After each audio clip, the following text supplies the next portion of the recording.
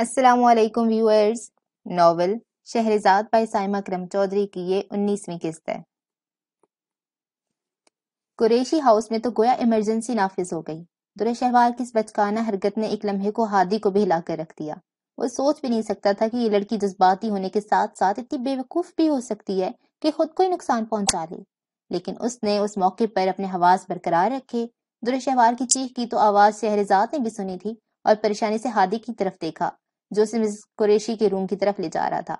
वो दोनों ठटक कर रुके और हादी ने चीख की आवाज़ से फौरी तौर पर अंदाज़ा लगा लिया कि ऊपर की पोर्शन से आ रही है। मेरा ख्याल है किसी मुलाजमा को चोट लगी है। आप सामने मम्मी के रूम में चली जाए, मैं देख कर आता हूँ। शहरजाद जैसे ही उनके कमरे की तरफ़ पड़ी, हादी बड़ी बिजली किसी तेज़ी के साथ सिटिंग रूम में मौजूद सीढ़ियों की जाने पड़ा जब फ़र्स्ट फ्लोर पर दुरशहवार ने मिनाहल के कमरे में डेरे डाल रखे थे। जैसे ही बदुर शहवार के कमरे में पहुँचा, फर्श से बहती हुई खून की लकीर को देखकर उसे धचका पहुँचा। वो तकलीफ़ के गहरे एहसास से दोहरी हुई जा रही थी। आदि को फ़ौरन ही उसकी बेवकूफ़ी का इदराक हुआ। फर्श पर शीशे की बिखरी हुई किर्चियाँ उसे सारी अनकही दास्तान सुना चुकी थी। पागल हो गई हो क्या? दिमाग काम नहीं करता तुम्हारा? अगर मरने का इतना ही शौक है तो अपने घर जाओ। हमें क्यों अजाब में डाल रखा है तुमने? उसने गुस्से से बेड पे रखा हुआ उसका दुपट्टा उठा के बेदर्दी से फाड़ा और गुस्से से उसकी कलाई पे बाँध कर खून रोकने की कोशिश की। वो बहुत करीब से हादी के चेहरे के बिगड़े हुए नकूश देख रही थी।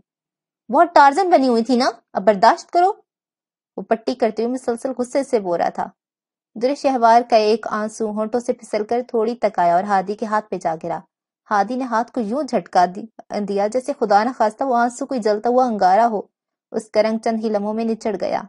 वो अपने निचले होंठ को दांतों तले दबा कर तकलीफ़ को बर्दाश्त करने की नाकाम कोशिश कर रही थी। मुझे डॉक्टर के पास जाने उसने आंसुओं से भीगा हुआ चेहरा उठाया और रुंधी हुई आवाज़ में बोली, दिल तो चाहते उठाओ कि मीर हाउस में फेंकाऊं तुम्हें, ताकि हमारे सिरों से तो यह जाप टले। उसकी बात सुनकर वो अब हिचकियों से रो रही थी। पता नहीं किस गुनाह की सजा मिली है। वो बड़बड़ाते हुए हमजा का नंबर मिलाने लगा। उसकी आवाज़ में ऐसी तलखी रची हुई थी, जिसे महसूस करके दुरे शहवार के आंसुओं में और ज़्यादा तेज़ी आ गई। वो जज्बाती होकर ये कदम उठा तो बैठी थी, लेकिन अब इससे जब्त करना मुहाल हो रहा था। मोहम्मद हादी ने मुख्तर अल्फाज में मेजर हमजा को फ़ोन पर सारा किस्सा सुनाया, जो उनके लॉन में मौजूद था। इन लम्हात में वो हमजा के अलावा किसी और पर एतमाद नहीं कर सकता था। इससे बात करने के बाद उसने मिसेस कुरेशी को भी कॉल कर दी, जो उस वक्त अपने बेडरूम में शहरजाद के साथ मौजूद थी। मोम, प्लीज़ आप इर्तजा को भी बुलवा लें अपने रूम में, मुझे हमजा के साथ जाना होगा। उसने मोहतात अंदाज में बताकर फ़ोन बंद किया। इर्तजा इस वक्त हमजा के साथ उनके घर के लॉन में मौजूद था और दोनों के दरमियान सर्द महरी की फिजा कायम हो चुकी थी। हमजा और हादी दोनों दूर शहबार को लेकर प्राइवेट हॉस्पिटल में पहुँचे, जो हमजा के बहुत अच्छे दोस्त का था। रात गए तक दुरे शहबार की एक छोटी सी सर्जरी हुई, जिसमें उसकी कटी हुई रग को डॉक्टर ने बड़ी महारत से जोड़ दिया था, जबकि वो दोनों वेटिंग रूम में थे। हमजा काफ़ी रिलैक्स और हादी के चेहरे पर परेशानी का तासर नुमाया था। तुम इस लड़की को पहली फुर्सत में किसी साइकेट्रिस्ट को दिखाओ, मुझे ये नॉर्मल नहीं लगती। हमजा ने सारा किस्सा सुनने के बाद उसे संजीदगी से मशवरा दिया। पूरा खानदान ही पागलों से भरा पड़ा है किस किस को दिखाऊँ? तक कर बोला, कुछ भी कहो हादी लड़की जीदार है, मोहब्बत करती है तुमसे। उसने मामले की संगीनी को महसूस करके उसे थोड़ा रिलैक्स करने की कोशिश की। भाड़ में जाए इसकी मोहब्बत, मुझे कोई इंटरेस्ट नहीं है इसमें और ना इसके खानदान में। वो बेजारी से गोया हुआ तो फिर किसमें इंटरेस्ट है ये मेरे यार को? हमजा ने उसे छेड़ा, किसी में भी नहीं, मैं ये मोहब्बत मोहब्बत के चक्रों में पढ़ने वाला नहीं हूँ, लेकिन ये तो अजाब बनकर नाजिल हो गई हम सबके सरों पर। मम्मी, पापा, सबको अपसेट कर रखा है इसने। वो परेशान लहजे में बोल रहा था, मेरी मानो, जान छुड़ाओ इस लड़की से। तुम जानते नहीं हो इसके बाप दादा को। ये लोग इकतदार और पैसे के लिए आखिरी हद तक जा सकते हैं। हमजा ने खलूस दिल से उसे मशवरा दिया, मुझसे ज़्यादा इनके खानदान की गंदी सियासत को कौन जान सकता है? लेकिन समझ में नहीं आता इस मुसीबत से कैसे जान छुड़ाऊं? वो तब कर बोला, बेफिक्र रहो, शहरजाद इनके खानदान के पीछे है और इनको इनकी इंजाम तक पहुंचाकर ही दम लेगी। हमजा ने जैसे शहरजाद का नाम लिया, उसकी कॉल आ गई। मोहब्बतें चेक करो हमारी। इधर नाम लिया, उधर मोहतरमा की कॉल आ गई। उसने मुस्कुराते हुए अपने सेलफोन की तरफ़ इशारा किया। वो अभी अभी मिसेस कुरेशी के घर से आई थी और न जाने क्यों उसकी छठी हिस्स कह रही थी कि वहाँ उनके घर में कोई गैर मामूली वाक्य हुआ है। जिस तरह मिसेस कुरेशी कुछ परेशान सी दिखाई दे रही थी और सोने पे सुहागा इर्तजा ने बताया कि हमजा और हादी भी अचानक गायब हो गए थे। उसने घर वापस पहुँचती सबसे पहले हमजा का नंबर मिलाया ताकि उससे खैर खरीत पूछ सके। दूसरी तरफ़ वो हादी के घर में खुद को नजरअंदाज किए जाने पर जला बैठा था। जी, फरमाइए मोहतरमा, यादाश्त बहाल हो गई आपकी? हमजा ने कॉल अटेंड करती तंजी अंदाज में कहा आई एम सॉरी इर्तजा और हादी की वजह से मैंने मुखातिब नहीं किया था आपको। दूसरी तरफ़ वो शर्मिंदगी से गोया हुई, क्यों इन दोनों ने मुझसे बात करने पर कुछ जुर्माना कर देना था आपको? उसके तंज पर वो मजीद खुफत का शिकार हुई नॉट एट ऑल एक्चुअली थोड़ा अजीब लगता है ना मुझे दूसरों के सामने। शहरजाद को समझ नहीं आ रही थी वो अपनी बात का इजहार कैसे करे। यकीन माने शहरजाद, जब आप जैसी वेल एजुकेटेड और कॉन्फिडेंट लड़की ऐसी इमेच्योर बातें करती है तो मुझ जैसे इंसान को बहुत गुस्सा आता है। हमजा आज उसे माफ़ करने के मूड में नहीं था। और जब आप जैसा केयरिंग और सेंसिबल शख्स किसी की रेपुटेशन वाले मामले को इतना इजी लेने लगे तो मुझ जैसे इंसान को भी बहुत गुस्सा आता है। वो भी कौन सा किसी से कम थी, उसने भी दू बदू जवाब दिया।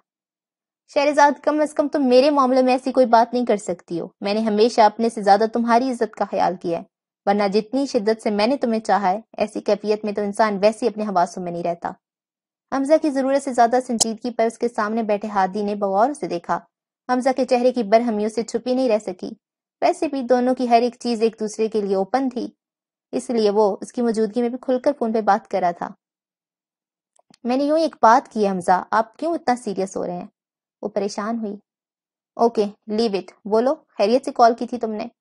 हमजा ने दानस्ता हल्का फुल्का अंदाज अपनाया, उसका मकसद उसे अपसेट करना नहीं था। हाँ थोड़ी परेशान हो रही थी मुझे। क्या मिसेस कुरेशी के यहाँ कोई प्रॉब्लम हुआ है? उसने मोहताज अंदाज में पूछा। तुम्हें किसने कहा? हमजा चौंका। बस ऐसे ही महसूस हुआ था मुझे, और मिसेस कुरेशी भी अपसेट लग रही थी। शहजाद ने खुलकर बताया। हाँ एक इशू चल तो रहा है। कल तुम्हारे ऑफ़िस का चक्कर लगाऊँगा, वहाँ बैठकर बात करते हैं। अभी थोड़ा हादी के साथ बिज़ी हूँ इस वक्त। हमजा ने जान पूछकर हादी का नाम लिया ताकि फ़ोन की दूसरी तरफ़ वो समझ जाए और शहरजाद ने भी सेकंडों में मामला भाप लिया। इसलिए इसरार नहीं किया और सलाम दुआ के बाद कॉल काट दी।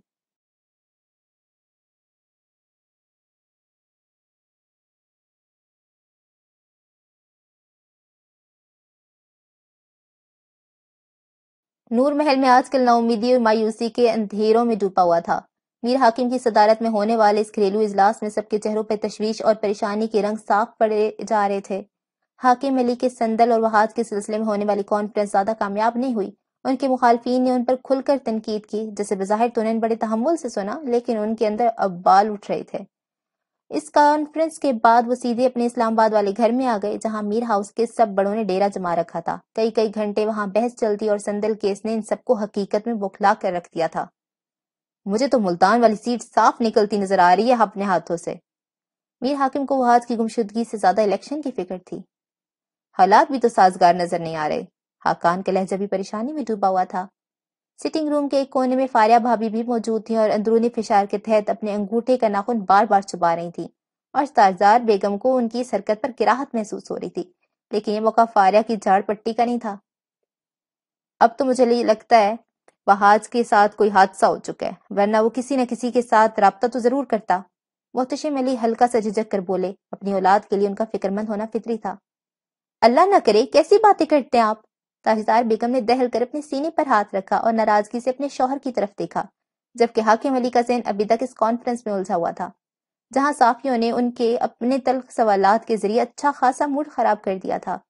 उसी वक्त हाकिम अली के सेलफोन की घंटी बजी दूसरी तरफ़ किसी पॉलिटिकल शो का कोई मशहूर और मारूफ एंकर था, जो शायद अपने प्रोग्राम के लिए उनका मौकफ रिकॉर्ड करना चाहता था। मेरा तो दिमाग ही खराब कर दिए दो टके के सहाफियों ने। उन्होंने बेजारी से कॉल काट दी।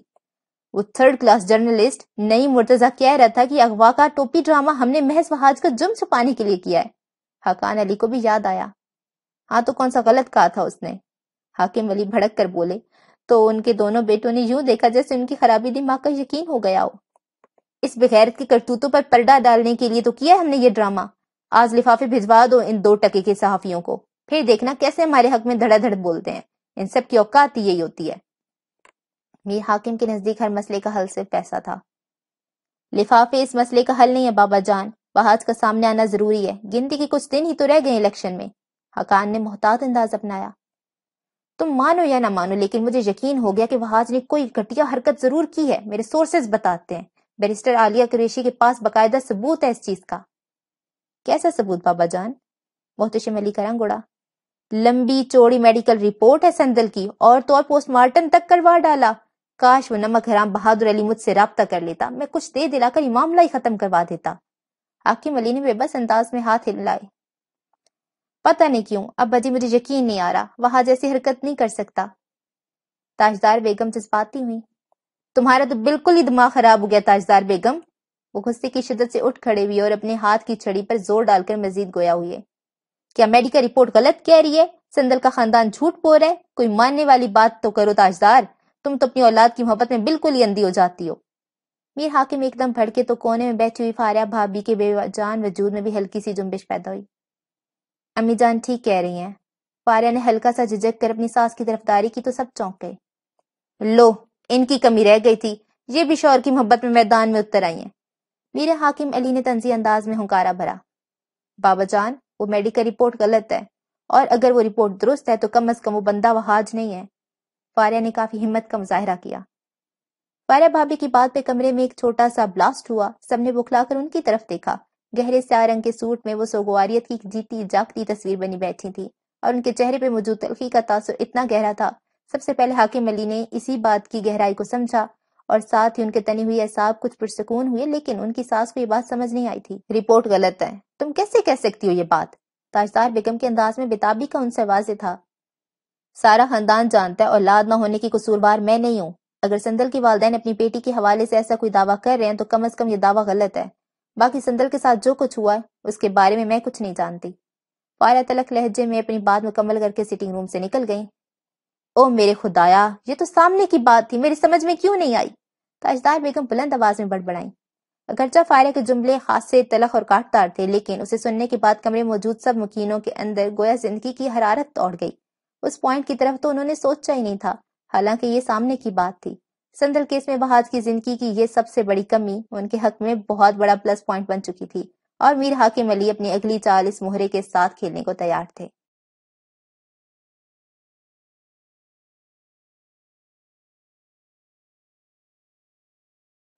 शुमाल मगरब सिंध से आने वाली आंधी अपने साथ गर्दो को बार का एक तूफ़ान लाई थी। जुल्कफल और मोनिका ने जैसे ही मुल्तान के रेलवे स्टेशन पर कदम रखा, गर्म हवाओं ने उनका इस्तकबाल किया। साठ किलोमीटर फ़ी घंटा से आने वाली इस आंधी ने पूरे शहर की इश्तेहारी बोर्ड तक गिरा दिए थे। ऐसा लगता था जैसे हर तरफ़ बस गर्द ही गर्द हो। ऐसी बदगुमानी की गर्द इन दोनों के खानदानों के दिलों पर भी छाई हुई थी, जिससे उन्हें जाकर निबटना था। वो दोनों बजाहिर अपने चेहरों पर सुकून दिखाई दे रहे थे लेकिन आने वाले वक्त का खौफ उनकी आँखों से साफ़ छलक रहा था। उन्हें इल्म नहीं था, इससे भी बड़ा तूफ़ान बड़ी हवेली में उनका मुंतजर है। जहाँ जुल्कफल की क्रिश्चियन लड़की के साथ शादी ने उनके वालदेन को आग बगोला कर रखा था। उसके वालिद का बस नहीं चल रहा था कि वो अपने सबसे छोटे और लाडले बेटे को इस खुद सरी पर इबरत का निशान बना दें, ताकि उनकी खालिश तन सादात कराने में किसी और को उनकी मिलावट का जुर्म आइंदा नस्लों में कोई भी न कर सके। बड़ी हवेली में रहने वाले के अपने ही असूल जाब्ते थे, जिनसे इनहराफ करना उनके लिए बहुत बड़ा गुना था, और वो इससे हटकर कुछ भी करने का सोच नहीं सकते थे। लेकिन आगे भी जुल्कफल था, अपने सब बहन भाइयों से बहुत मुख्तलिफ़। वो बाप से छुप कर अपने खानदानी मुलाजमीन की मदद करता और उन्हें अपनी तरह का इंसान समझा करता था, और इसकी ये इंसानियत की खिदमत उसके वालिद को सख्त नागवार गुजरती थी, और इसी वजह से उसे कई दफ़ा वार्निंग भी मिल चुकी थी। एक दफ़ा तो उन्होंने उसकी ठीक ठाक ठुकाई भी की थी, लेकिन वो फिर भी पास नहीं आया। नेकी और नरमी उसकी सरशत में शामिल थी और वो अपनी फितरत से हटकर ज़िंदगी कैसे बसर कर सकता था। जब जुल्कफल ने एनसीए में दाखिला लेने का ऐलान किया तो तब भी हवेली में एक तूफ़ान आया था, लेकिन इस बार भी जान डट गई और वो वाहिद खातून थी जिनके सामने कभी कभार बाबा जान की एक नहीं चलती थी और पूरा खानदान जानता था वो बी जान का चहीता था।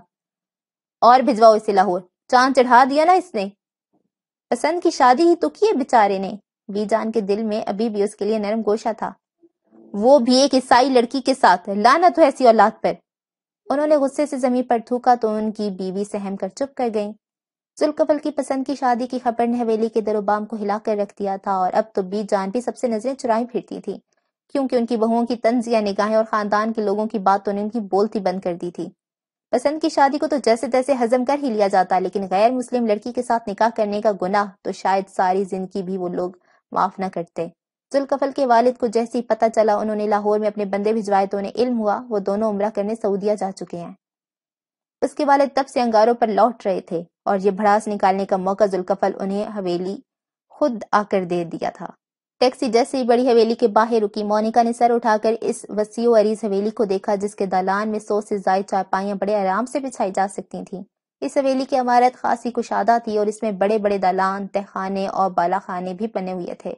मोनिका को अंदाज़ा नहीं था कि जुल्कफल का ताल्लुक अच्छे खासे अमीर घराने से होगा। इन दोनों की आमद की इतला जैसे ये अंदर पहुँची, कमरों में एक हलचल और बेचैनी सी मच गई। बीजान ने बेसाख्ता दहलकर अपने सीने पर हाथ रखा और उनकी बहुएँ तजस्स के मारे दरवाजे की ओट में आन खड़ी हुई। मुलाजमीन की आँखों में भी इश्तियाक ठाठे मार रहा था, जिस ईसाई लड़की को दिन रात घर में गायबाना कोसा जाता था, वो अपनी शरीक हयात के साथ इस घर में कदम रख चुकी थी। स्या रंग की अबाया में प्रिंटेड स्काफ में उसका पुरनूर चेहरा खासा चमक रहा था। ईमान की रोशनी ने उसके चेहरे पर एक दिल को छू लेने वाली दिलकशी का एहसास भर दिया था। उसका दिल शीशे की तरह साफ़, शफाफ और उसके अच्छे मिजाज का एक उसके पूरे वजूद से नुमाया था। बीजान को वो पहली नज़र में अच्छी लगी। वो उनके बेटे के साथ खड़ी हुई खूब जच रही थी और बिलाशुबा उनकी सब बहुओं से ज़्यादा प्यारी और मासूम दिखाई दे रही थी। इन दोनों की आमद की इतला जुल्कफल के वाले तक भी पहुँच चुकी थी और उन्होंने अपने चटकते हुए असाब को संभाला और गुस्से से अपने कमरे से बाहर कदम रखा। वो जहाँ जहाँ से गुजर रहे थे, हवेली के मुलाजमीन फ़ौरन दाई पाई हो जाते। उन्होंने जैसे ही दलान में कदम रखा, अपने बेटे के साथ अंदर आती लड़की को देखकर उन्हें अपनी नागवारी की एक लहर उठती हुई महसूस हुई। यहीं पर रुक जाओ तुम दोनों। एक कदम भी आगे मत बढ़ाना। उनकी आवाज़ दबी दबी गुराहट से मुशाबे थी। अस्सलाम वालेकुम बाबा जान। सुलकफल ने घबरा कर अपने वालिद को सलाम किया, जिसका जवाब नहीं मिला। अपनी बीवी से कहो, अपने नापाक कदमों के साथ मेरे घर की दहलीज को गंदा मत करे। जैसे आयो, वैसे ही पलट जाओ जुलकफल, वरना मुझसे बुरा कोई नहीं होगा। उनकी पाट तर आवाज़ पूरी हवेली में गूंजी, और जैसे पूरे माहौल पर किसी ने मंत्र फूंक दिया हो। पूरा घर एक महसूस किए जाने वाले सनाटे की लपेट में आ गया। उनकी भाभियाँ तो अब गैर इरादी तौर पर बाहर निकल आई, और बड़े मज़े से बाहर का मंजर देखा। बाबा जान अब मेरी बात तो सुने जुल्कफल ने बोलने की कोशिश की, एक लफ्ज भी मत कहना। तुमने इस ईसाई लड़की से शादी करके जो हमारे खानदान की इज़्ज़त पर दाग लगाया है, इस पर मैं तुम्हें पूरी ज़िंदगी माफ़ नहीं करूँगा। वो नकुत सदा अंदाज में गोया हुए। मैं इस्लाम कबूल कर चुकी हूँ, बाबा जान। मोनिका ने उनके चेहरे पर मौजूद तनफुर से नज़रें चुरा कर बड़े हमवार लहजे में कहा तो उन्हें करंट लगा। तुम जैसी लड़कियाँ, हमारे जैसे ऊँचे खानदान के मर्दों से शादी करने के लिए अपना मज़हब तो क्या अपना खानदान और सब कुछ दाव पर लगा सकती हैं? अपना स्टेटस और अपनी औकात बदलने का मौका भी तो कभी कभी मिलता है। उनका जवाब मोनिका के लिए किसी तमांचे से कम नहीं था। उसे संभलने में चंद सेकंड लगे। तजलील के एहसास से उसकी आँखों में मिर्चें सी भर गई। बाबा जान, आप मोनिका से और कुछ नहीं कहेंगे। अपनी बीवी की इंसल्ट उलकफल से बर्दाश्त नहीं और वो खुलकर सामने आ गया। ठीक है, तुम छोड़ दो इस लड़की को और अल्लाह से अपनी इस गुमराही पर तौबा करो। उन्होंने सख्ती से कहा। पहली बात तो ये है, मैंने कोई गुमराही नहीं की। अहले किताब के साथ निकाह जायज़ है और जहाँ तक इस लड़की की बात है, इसने मुझसे शादी के लिए इस्लाम कबूल नहीं किया। अल्लाह ने इसे खुद ईमान की रोशनी से नवाजा था। जुल्कफर ने बिजार लहजे में जवाब दिया। जहाँ करोड़ों की जायदाद और हाई फाई खानदान नज़र आ रहा हो, वहाँ ऐसे दो टके की लड़कियाँ सबसे पहले अपने ईमान का ही सौदा करती हैं। उन्होंने भी तैश से मगलूब आवाज़ में चीख कर कहा तो मोनिका का चेहरा जिल्लत के एहसास से सुर्ख हो गया। बाबा जान इट्स इनफ अब आप मजीद ज़्यादा नहीं करेंगे मेरी बीवी के साथ। उसने बमुश्किल खुद को काबू पाकर कहा तो ठीक है, दफ़ा हो जाओ मेरी हवेली से और दोबारा इस मनहूस लड़की के साथ यह कदम मत रखना। मैं भी आप ही का बेटा हूँ। अगर मेरी बीवी के लिए इस घर के दरवाजे बंद हैं तो मैं भी इस तहलीज पर कभी थूकना भी पसंद नहीं करूँगा। जुल्कफल का जब्त जवाब दे गया। अपनी बेटी की ये बात उन्हें मुश्तिल कर गई। इससे पहले कि वापस से बाहर होते, जुल्कफल ने मोनिका का हाथ पकड़ा और तेज तेज कदमों के साथ हवेली से ही नहीं, उन सबकी जिंदगियों से भी निकल गया।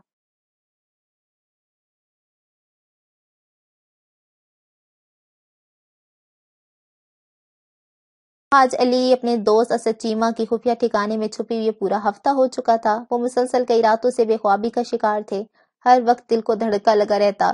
ख्वाब में कभी पुलिस तो कभी जेल दिखाई देती। इस दिन हैदर ने के डेरे से निकलकर अपनी गाड़ी दौड़ाते हुए रातों रात मुल्तान जा पहुँचे और वहाँ से अपने दोस्त असद चीमा के पास चले आए, क्योंकि इस वक्त सारी दुनिया में वही उनका साथ दे सकता था जो उनका शरीक जुर्म भी था।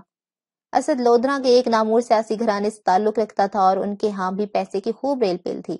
वो अपने बाप का इकलौता सपूत था और कोई रोक टोक न होने की वजह से दुनिया जहाँ की बुराइयों में मुबतला हो चुका था। महीने में पंद्रह दिन उसके इस्लामाबाद में नूर महल की एनेक्सी में ही गुजरते और सारी दुनिया जानती थी, वो वहाज का गहरा दोस्त है।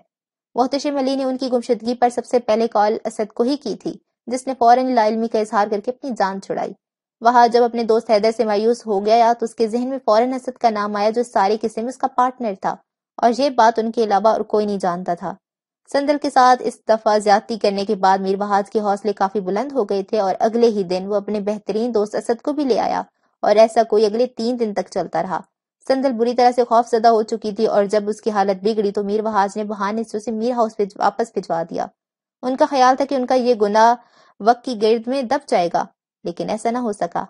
मीडिया पर संदल के हवाले से आने वाली खबरों ने अगर वहाज को परेशान कर रखा था तो सुकून में ऐसा चीमा भी नहीं था, क्योंकि उसे भी इल्म था। जब भी ये किस्सा खुलेगा तो उसमें उसका नाम भी आएगा।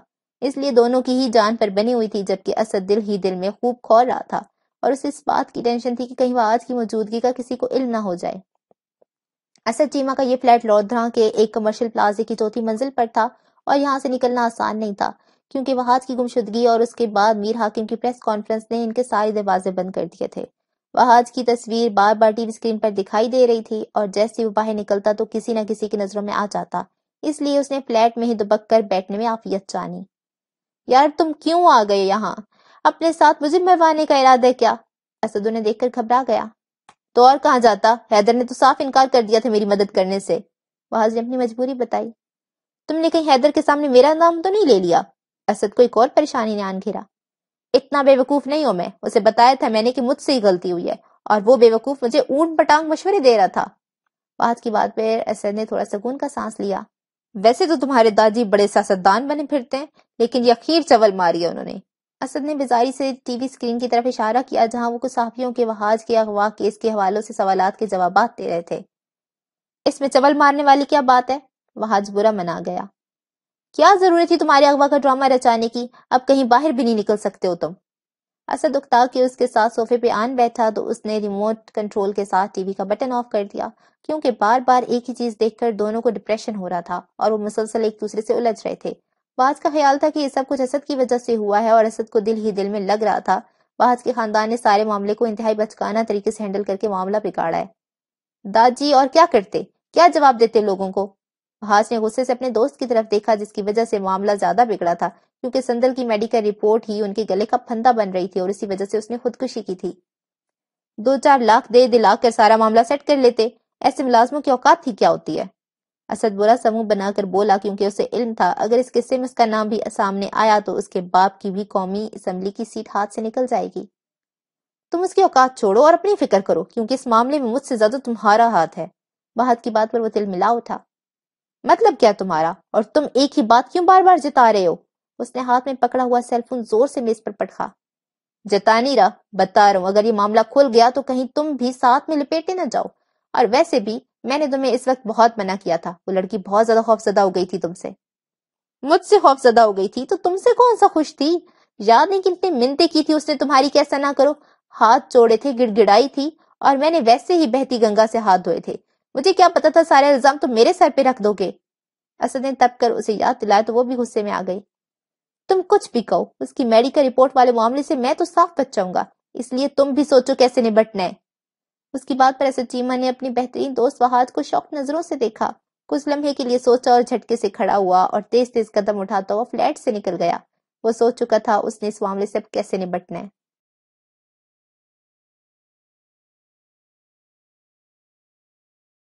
देखो अरसल साफ़ साफ़ बता दो, तुम अपने पेरेंट्स को क्यों नहीं भिजवाना चाह रहे? रुमैस आज अरसल के साथ ग्लोरिया चीन्स कॉफ़ी शॉप में मौजूद थी और शहरी के बार बार कहने पर उसने आज अरसल से साफ़ साफ़ बात करने का इरादा कर लिया था। वो जो दूरी शहवार और वहाज वाले मामले की वजह से बहुत ज़्यादा उलझा हुआ था, उसकी जिद पर झिंझला उठा। पागल हो गई और रुमैसा मैंने कब ऐसे कहा है? मैं उन्हें भिजवाना नहीं चाहता। तो फिर बहाने क्यों बना रहे हो? साफ़ साफ़ बात क्यों नहीं करते? उसकी आवाज़ में खफकी थी। बेवकूफ़ लड़की हमारे घर में आजकल बहुत ज़्यादा टेंशन फैली हुई है। ऐसे मौके पर अपनी शादी या प्रपोजल ले जाने की बात करना अपने पैरों पर खुद कुल्हाड़ी मारने के मुतरदिफ है। तुम समझने की कोशिश क्यों नहीं कर रही?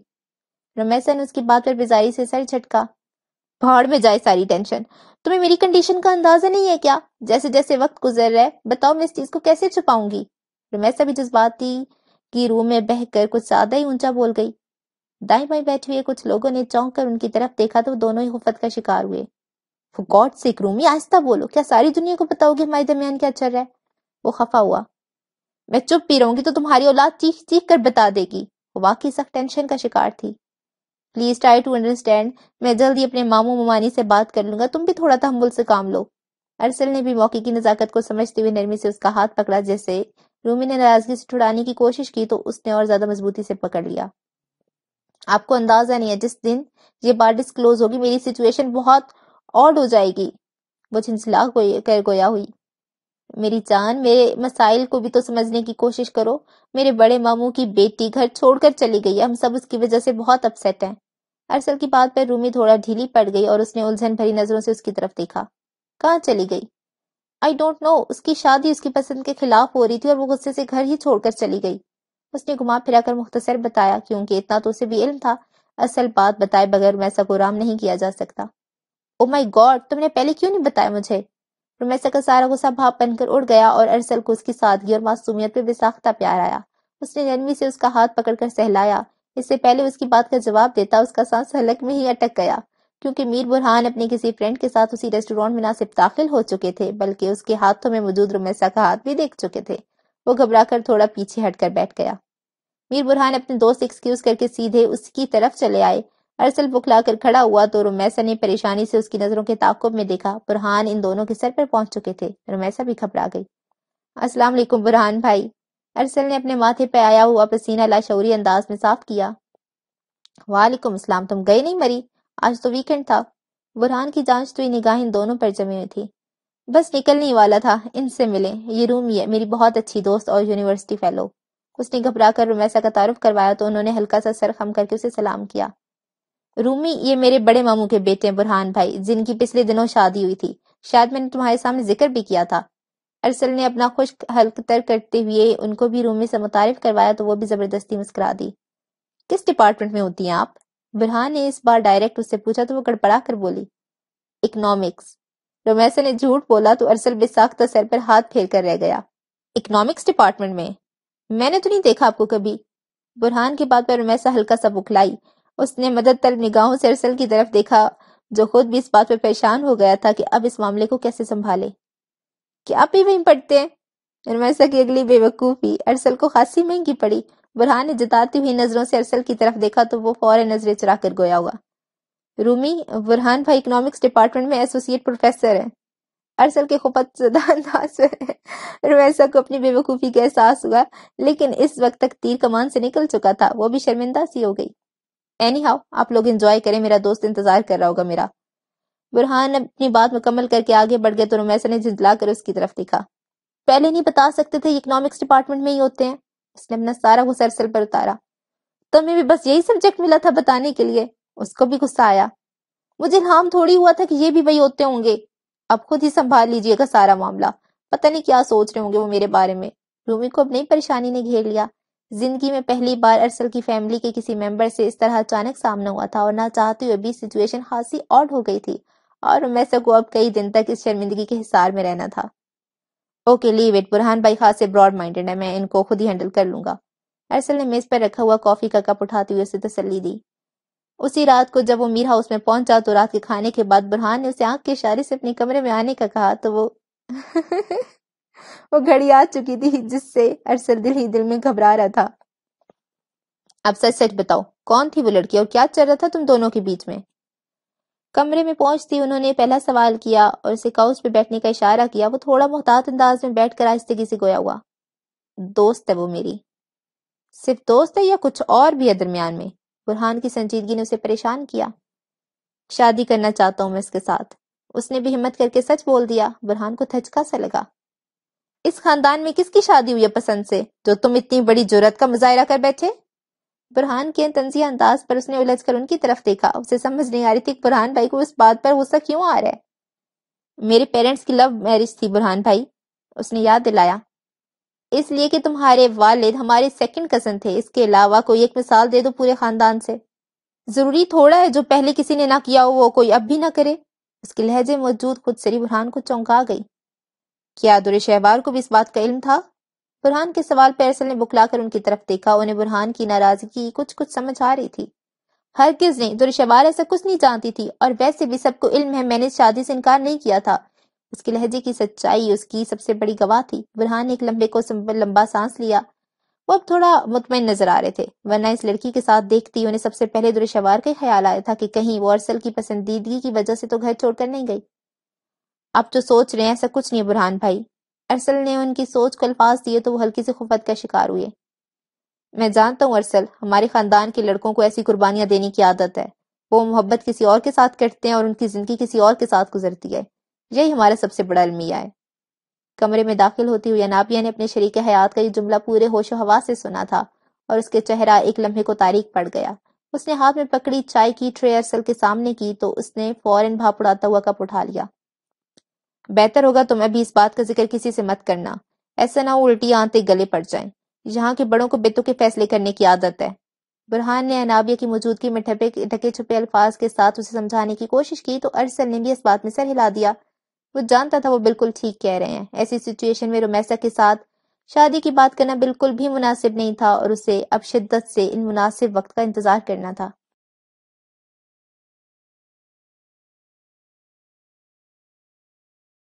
दिल केस की पहली ही पेशी मिसेज आलिया कुरेशी और शहरजाद को खासी भारी पड़ी। मिसेज कुरेशी ने अपने सोर्सेज इस्तेमाल करके ये केस तरजीही बुनियादों पर अदालत में लगवा लिया था और उन्हें इस बात का इल्म नहीं था कि मीर हाकिम की तरफ़ से आने वाला वकील अपने साथ एक ऐसा हथियार ला रहा है जो उनके सारे दलाल पर भारी पड़ जाएगा। वो दोनों अपनी तरफ़ से पूरी तैयारी करके आई और इसी वजह से खासी पुरमाद थी, लेकिन पहली पेशी में जब मुखालिफ पार्टी के वकील ने मीर महाज की मेडिकल रिपोर्ट अदालत के सामने पेश की तो एक लम्हे को मिसेस कुरेशी भी गड़बड़ा गई। उन्हें पहली दफ़ा अंदाज़ा हुआ ये केस इतना भी सीधा नहीं जितना वो समझ रही हैं। उन्होंने इस मौके पर समझदारी का मुजाहरा करते हुए फ़ौरन केस की नेक्स्ट पेशी की तारीख ले ली। मुखालिफ पार्टी के चेहरे पर मौजूद इस्तेजाइया मुस्कुराहट उन दोनों को बुरी तरह से महसूस हुई, इसीलिए उन्होंने नई सिरे से इस पर वर्किंग स्टार्ट करने का इरादा कर लिया। आप माने या ना माने, लेकिन ये रिपोर्ट फेक लगी है मुझे। अपने चैम्बर में आते ही शहजाद ने खुलकर तबसरा किया। रिपोर्ट जिस लैब की है, वो फेक नहीं बना सकते। मिसेस कुरेशी ने फ़ौरन उसकी बात को रद्द किया। अगर वह आज की रिपोर्ट ठीक है तो फिर संदल के डॉक्टर की रिपोर्ट गलत है। शहजाद उलझ गई। संदल के डॉक्टर भी गलत नहीं कह रहे, वो वाकई प्रेग्नेंट थी। मिसेस कुरेशी ने हाथ में पकड़ा, पेपर वेट अपनी फ़ाइल पर रखा। उनका दिमाग बहुत तेज़ी के साथ कड़ियाँ जोड़ रहा था, जबकि पहली पेशी पर मुखालिफ पार्टी के वकील ने उन पर खासी भारी वार किया था, और अब उन्हें उसका तोड़ चकरना था। तुम खुद सोचो शहरी, अगर दोनों रिपोर्ट्स दुरुस्त हैं तो फिर बीच में क्या मसला हो सकता है? उन्होंने अपने सामने बैठी हुई लड़की को मजीद सोचने पर उकसाया। इस बात का तो फिर एक ही मतलब निकलता है, मैम। इस जुर्म में यकीनन बहाज के साथ कोई और भी शामिल था। शहरजाद का तजिया सौ फ़ीसद दुरुस्त था, तभी मिसेस कुरेशी ने मुस्कुराकर बाल पॉइंट के साथ फ़ाइल पर कुछ कमेंट्स लिखे। तुम अब बिल्कुल ठीक पॉइंट पर सोच रही हो, शहरी। वो हाथ में पकड़ा बाल पॉइंट मेज पर रखकर मुस्कुराई। अगर ऐसा ही है तो संदल ने इस सब का अपने हाथ में ज़िक्र क्यों नहीं किया? शहजाद को अगली सोच ने हान घेरा। तुम संदल की जगह खुद को रखकर सोचो शहरी। अगर खुदा ना खास्ता तुम्हारे साथ ऐसा कोई जुल्म हो, तुम में, जिसमें तुम्हारे घर का बंदा इन्वॉल्व हो तो तुम ज़्यादा हर्ट उसी की तरफ़ से होंगी। और संदल ने जिस जहनी अजियत के साथ अपने रुके में ये चंद लाइनें लिखी हैं, वहाद साहब ने उसके साथ अच्छा नहीं किया तो उससे हमें खुद अंदाज़ा लगा लेना चाहिए कि यकीनन उसके साथ जितना जुल्म हुआ है, वो उसे तफसील से नहीं लिख पाई। मिसेस कुरेशी ने खुलकर अपनी राय का इजहार किया तो शहरजाद को उनकी सारी बातें दुरुस्त लगी और उसने दिल में मीर फैमिली के लिए नफरत में दुगना इजाफा हो गया। हमें इस केस पर मजीद वर्किंग करना होगी तुम इसे दोबारा स्टडी करके अपने पॉइंट्स बना कर लाओ। डोंट वरी मैम इनशाला कुछ न कुछ ज़रूर निकल आएगा, जो हमारे लिए हेल्पफुल होगा। मैं जरा अपने ऑफ़िस में बैठ कर इसे नए सिरे से देखती हूँ। वो अपने काम के मामले में इंतहाई जनूनी थी और ये बात मिसेस कुरेशी से बढ़कर कोई नहीं जानता था, इसलिए उन्होंने उसे रोकने की कोशिश नहीं की। शहरजाद के दिमाग में इस केस के हवाले से कई चीज़ें एक साथ चल रही थी। वो अपनी धुन में तेज़ी के साथ ऑफ़िस में दाखिल हुई तो पहले ही कदम पर ठटक कर रख गई। मेजर हमजा उसकी नशिस्त के सामने रखी हुई कुर्सी पर बड़ी बेतकल्फी से बैठा हुआ कॉफ़ी पी रहा था। शहरजाद ने गर्दन मोड़कर साइड मेज पर रखी इलेक्ट्रिक केटल को देखा। उसे अंदाज़ा हो गया कि कॉफ़ी बनाने का अमल भी उसकी ऑफ़िस में सर अंजाम दिया गया है। आपको अपने ऑफ़िस में कोई काम नहीं होता क्या? उसकी तरफ़ देखकर मुस्कुराई। मोहतरमा मेरी आजकल ऑफिशियल छुट्टियाँ चल रही हैं। अगर इतना ही बुरा लगता हूँ तो चला जाता हूँ। वो कॉफ़ी का मग मेज पर रखकर मसनू संजीदगी से खड़ा हुआ। ये ओवर एक्टिंग करना बंद करें और बैठ जाए सुकून से। मैं वैसे ही थकी हुई हूँ। हमजा मुस्कुराते हुए दोबारा अपनी सीट पर बैठ गया और कोहनी को मेज पर टिकाकर उसे बड़ी फुर्सत से देखने लगा। वो वाकई थकी थकी सी थी उसे। न जाने क्यों इस लड़की की हर अदाई उसे भाती थी। उसने बहुत साल उससे एक तरफा मोहब्बत, बड़ी शिद्दत के साथ की थी और अब जाकर उसकी ज़िंदगी में थोड़ा ठहराव आया था। ऐसे क्यों देख रहे हैं आप? वो कोफ्त का शिकार हुई। अगर तकना शुरू हो गई हो तो इस प्रोफेशन को पहली फुर्सत में छोड़ दो तुम। उसका खलूस दिल से दिया गया मशवरा शहजाद को बिल्कुल अच्छा नहीं लगा। मैंने कब का इस प्रोफेशन से थक गई हूँ। आपको गलत अंदाजे लगाने पर कोई अवार्ड मिलना चाहिए।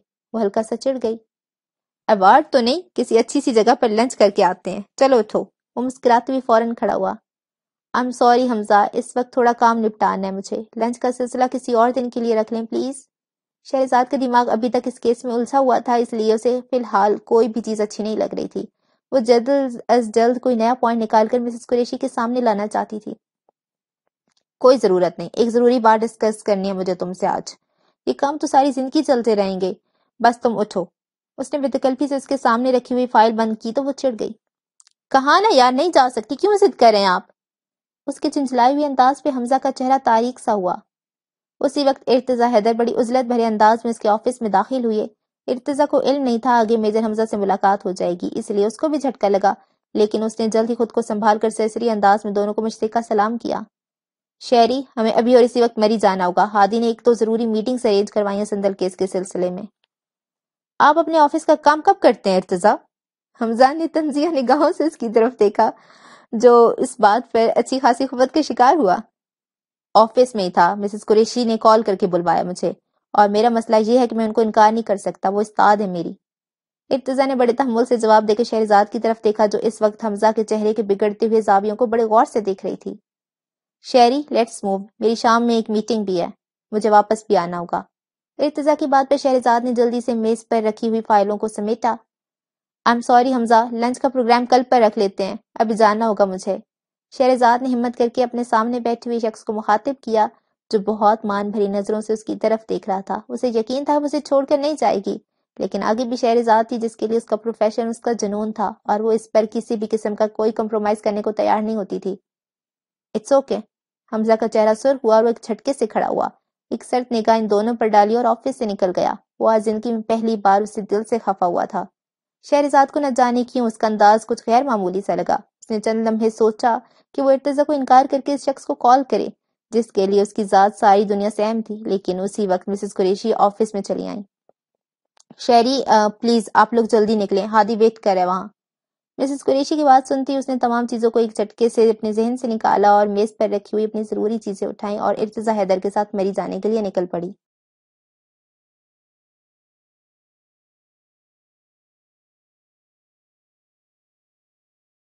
सारे दिन का थका मांदा आफ्ताब मगरिब की आगोश में छुप गया। दुरशहवार के हाथ पर बैंडेज हुई थी और वो आज पूरे दो दिन बाद अपने कमरे से निकली और लॉन की तरफ़ चली आई। वो अफसरदा अंदाज से लॉन चेयर पर बैठे सूरज की सुनहरी धूप को शाम के कुरमजई रंग में मधगम होते देखने लगी। उसकी खुदकुशी की हरकत ने मिसेस कुरेशी के साथ साथ अब्दुल्ला साहब को भी खौफसदा कर दिया था। वो जल्द अज जल्द इसाफत की पुड़िया से जान छुड़ाना चाह रहे थे, लेकिन उन्हें कोई बेहतरीन रास्ता नज़र नहीं आ रहा था, जिससे सांप भी मर जाए और लाठी भी ना टूटे। दुरे शवार की आँखों में हादी को देखकर अजीब सी हसरतें से सकती हुई नज़र आती। उससे बात करने की तमन्ना चुटकियाँ लेती लेकिन इस दुश्मन जहाँ की आँखों में उसे अपने लिए सिवाय बिजारी, तनफर और कोफ्त के कुछ नहीं मिलता था, और ये बात उसे दिन ब दिन और ज़्यादा मायूस कर रही थी। अब तो मिसेस कुरेशी को भी खुलकर उसका मसला समझ आ गया था और इस शाम वो इसे समझाने की घर से अपने चाय का कप उठाए उसके पास चली आई। दुरे शहवार ने एक नज़र उठाकर उनकी तरफ़ अफसरदा अंदाज में देखा। उसका चेहरा बुझा हुआ और उसकी आँखों के नीचे गहरे हल्के थे। मिसेस कुरेशी को उसकी हालत पर रहम आया। वो लड़की उनकी बेटी की मोहब्बत में खुद को बर्बाद कर रही थी। बेटा, क्यों अपने आप को जियत दे रही हो आप? मिसेस कुरेशी ने पहली दफ़ा उसे खुलकर बात करने का फैसला किया। तो और क्या करूँ, आंटी? उसने बेबस अंदाज में अपने हाथ की लकीरों को देखा। उसकी आँखें नमकीन पानियों से भर गईं और वो आँसू रोकने के चक्रों में अपने होंठों को काटती हुई मिसेस कुरेशी को पहली दफ़ा मासूम लगी। मैं मानती हूँ कि मुझे मोहब्बत करने का सलीका नहीं आता। मेरे दिल में जो होता है, मैं बिला झिझक बोल देती हूँ। मैं अपनी जिद की गुलाम हूँ। मैं ये भी जानती हूँ कि लड़कियों की यादें उनको नुकसान के अलावा कुछ नहीं देती।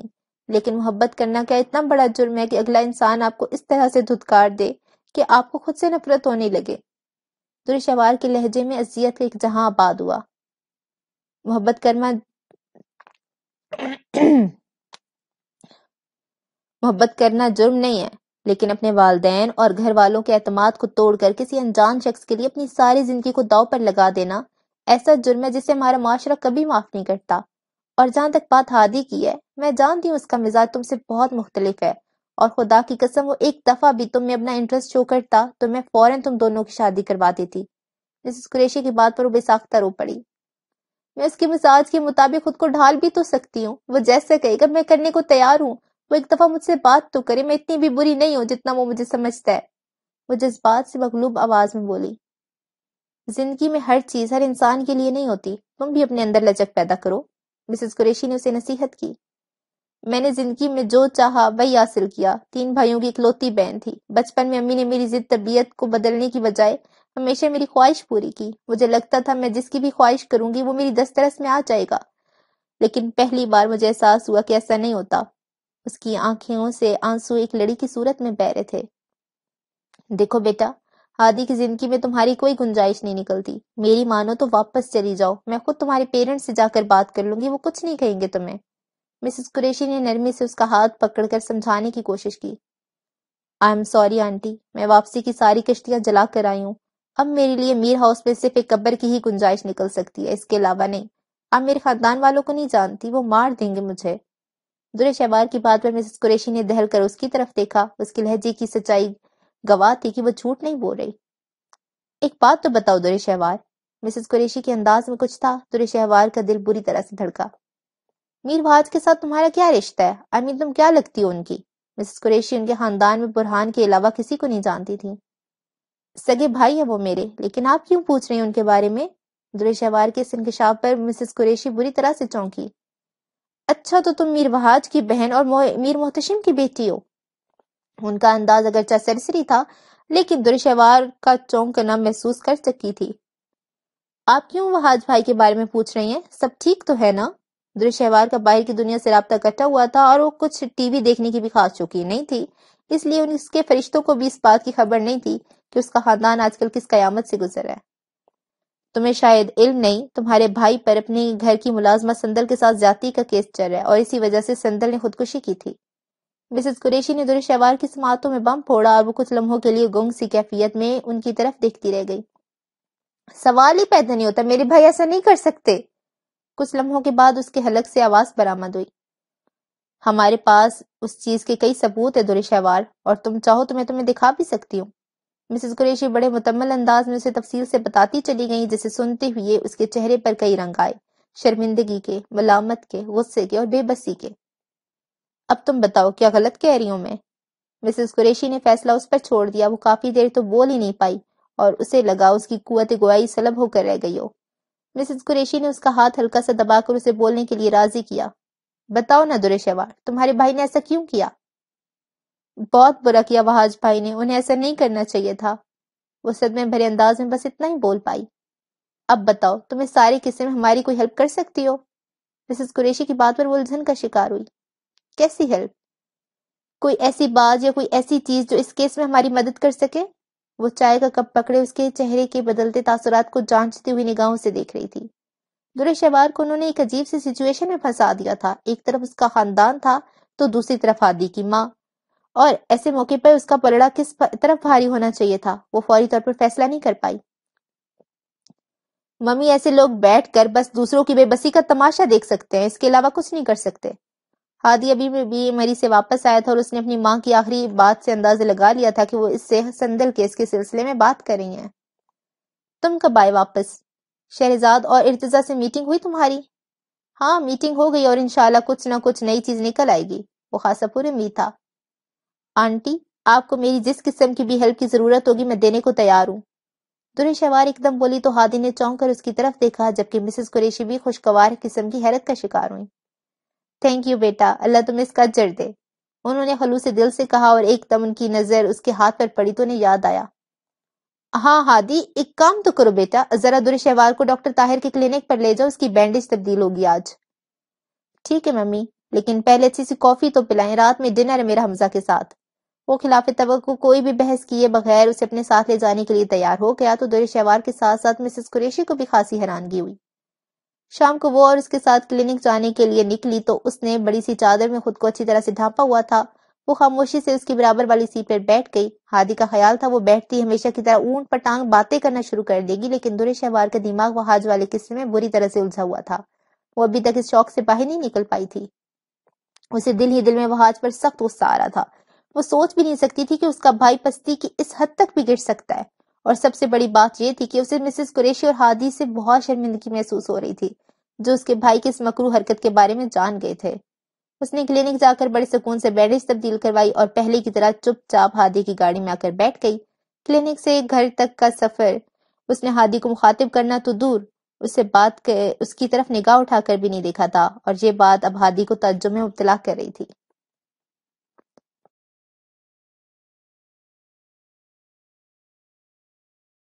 उस रात एक बार फिर दोनों के दरमियान खूब झगड़ा हुआ। असद चीमा का ख्याल था वहाज को पहली फुर्सत में उसका फ्लैट छोड़कर एक और दोस्त के पास कराची चले जाना चाहिए और वहाज बाहर निकलने से बहुत ज़्यादा खौफजदा थे। ये मुमकिन ही नहीं था, वो किसी की नज़रों में आए बगैर वहाँ पहुँच जाते। तो मुझे अपना फ्लैट से निकालना चाहते हो? वहाज ने बगैर किसी लगी लिपटी के असद को कहा, जिसके चेहरे पर बिजारी ही बिजारी थी। हज़ार दफ़ा बता चुका हूँ, बाबा के कुछ फ्रेंड्स आ रहे हैं सिंध से, और इसलिए उन्होंने मुझे कहा है उकता कर बोला। देखो, असद, बहाने मत बनाओ। क्या मुझे इल्म नहीं? तुम लोगों की हवेली और बेशुमार घर है। अब मेहमानों को ठहराने के लिए ये फ्लैट ही रह गया क्या? बात को गुस्सा आया। वैसे भी दोस्ती के रिश्ते में दरार तो पड़ ही चुकी थी। यार, तुम कुछ भी कहो। इलेक्शन के मौके पर मैं ऐसा कोई स्कैंडल अफोर्ड नहीं कर सकता। वो भी बदलिहाज हुआ। स्कैंडल तो इस वक्त भी बनेगा जब मेरी गिरफ्तारी होगी। वहाज ने ढके छुपे अल्फाज में से धमकाने की कोशिश की। ऐसा करो, तुम अभी फ़ोन करके पुलिस को बता दो ताकि बात आज ही खत्म हो जाए। असद ने गुस्से से अपना सेल फ़ोन उसकी तरफ़ फेंका। मैं ऐसी कोई घटिया हरकत नहीं करूँगा, लेकिन याद रखना, अगर मैं फंसा तो फिर छोड़ूँगा मैं नहीं किसी को भी। गॉड सेक वजी मैं तुम्हें सिर्फ़ चंद दिन के लिए यहाँ से जाने का कह रहा हूँ। ये इलेक्शन का हंगामा निमट जाए, नई गवर्नमेंट के आते ही हम लोग इस मामले को निपटा लेंगे। असद ने थोड़ी मुसलियत पसंदी का सबूत देते हुए नर्म लहजा अख्तियार किया, लेकिन वहाज का दिल उसकी तरफ़ से खट्टा हो चुका था, और वो दिल ही दिल में तमाम मुमकिन दोस्तों के नाम दोहरा रहे थे, जो इस मौके पर उनका साथ दे सकते थे। मैं तुमसे बात कर रहा हूँ। वहाज अब चुप करके क्यों बैठ गए हो? हल्का से चिढ़ गया। बेफिक्र रहो, कल शाम तक चला जाऊँगा मैं यहाँ से। वहाज नाराज़गी से सिटिंग रूम से निकलकर अपने बेडरूम की तरफ़ बढ़ गए। वो अब संजीदगी से अकेले बैठकर इस मसले का कोई हल निकालना चाहते थे। उनके इस ऐलान पर सचीमा ने थोड़ा सुकून का सांस लिया। उन्हें यकीन था कि वहाज नाम की बला जल्द ही उसके सर से टलने वाली है।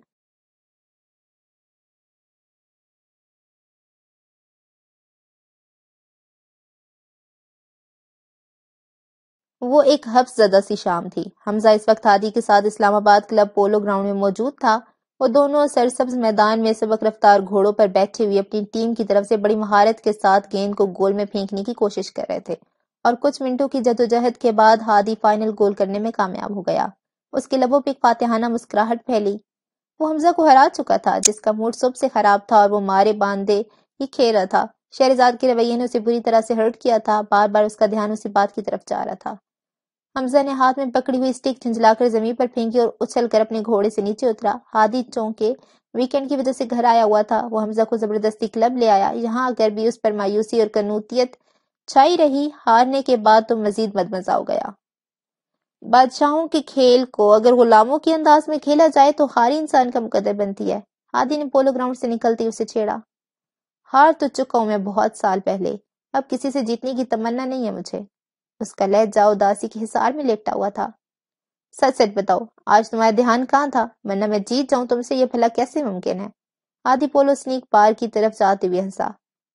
तुम ठीक कहते हो, बादशाहों के खेल को गुलामों के अंदाज में नहीं खेलना चाहिए।